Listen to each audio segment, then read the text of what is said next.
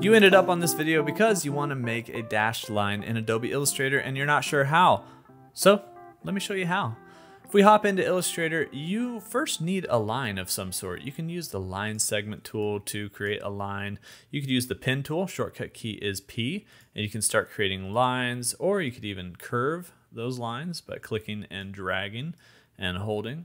So we've got all sorts of lines out here, and we want to add a dash to them. I'm going to select this first line segment line just straight across.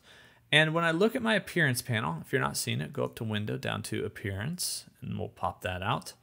When I look at my appearance panel, I can actually click on the stroke label. That's going to bring up the stroke options of that line. Now I can increase the stroke weight.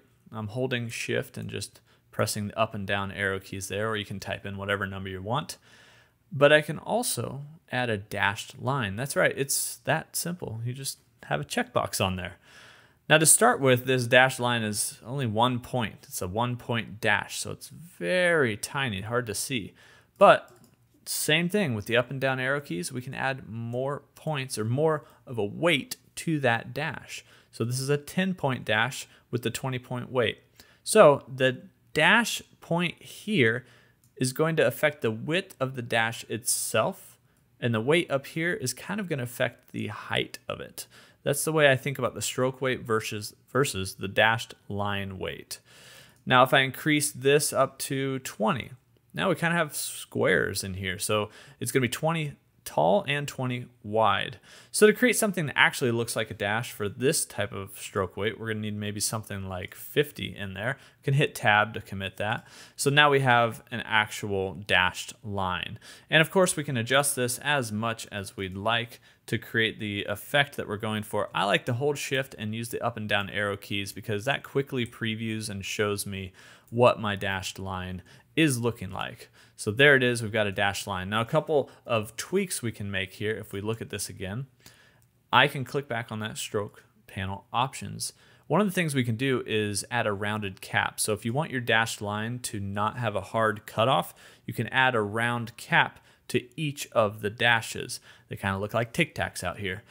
You can adjust corners if you need to, depending on your shape. You cannot align this stroke to the inside or outside right now because it's just a line. It's not really a shape yet. I'll show you here in a second how you do this to a shape as well.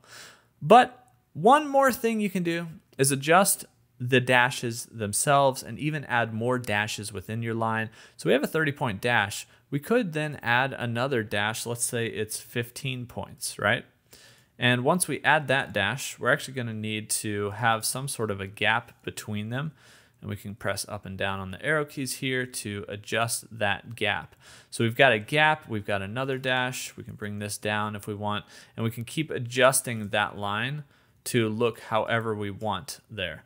So the other thing you can do here is just add a gap after this dash as well, so potentially another 30 point gap, and that's gonna help even it out. So it's basically a 30 point dash, 30 point gap, 10 point dash, 30 point gap and you get the drift. So you can customize the dashes within your line as well. Now, a really quick way to add this effect to another line or shape, just like this wacky pen tool shape we did, is to select that shape or line and press the I key for the eyedropper tool and just click on your dashed line up here and it's going to add that to this one down here. Now you might notice this pointed corner right here where we've got a really harsh cut.